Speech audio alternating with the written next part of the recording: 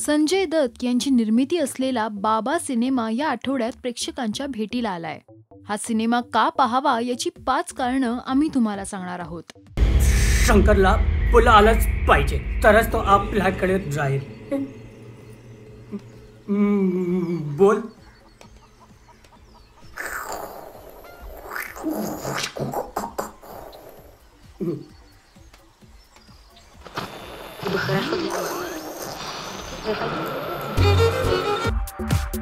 Cinema पाहण्याचं पहिलं कारण म्हणजे सिनेमाची कथा. पोटचा मुलगा नसूनही लहानपणापासून स्वतःचा मुलगा म्हणून वाढवलेल्या मुलासाठी मुकबधीर आईबाबांचा संघर्ष ही या सिनेमाची कथा आहे. बोलता येत नसताना हावभावातून ही कथा उलगडत जाते. उत्तम कथेची मांडणी अतिशय उत्तमपणे या सिनेमात केली आहे. आजवर कधीही न पाहिलेली कथा पाहायची असेल तर हा सिनेमा नक्कीच पाहायला हवा. सिनेमा पाहण्याचं दुसरं कारण म्हणजे सिनेमातील कलाकार.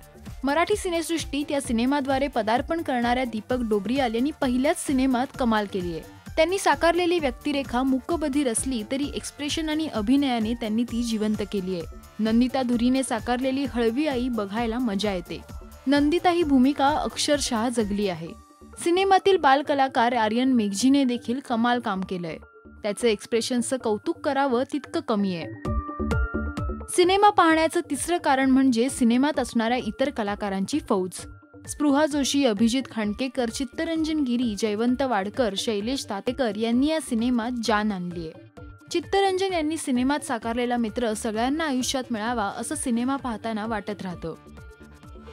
सिनेमा पाहण्याचं चौथं कारण म्हणजे सिनेमाचं दिग्दर्शन.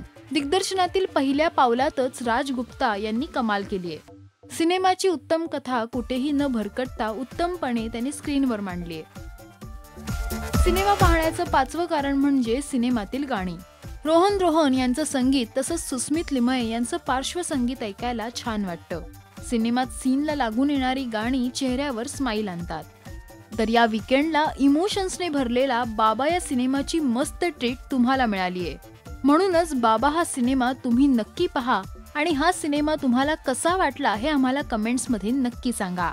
मराठी सिनेसृष्टीतील अपडेट बातम्या आणि गॉसिपसाठी सबस्क्राईब करा राजश्री मराठी.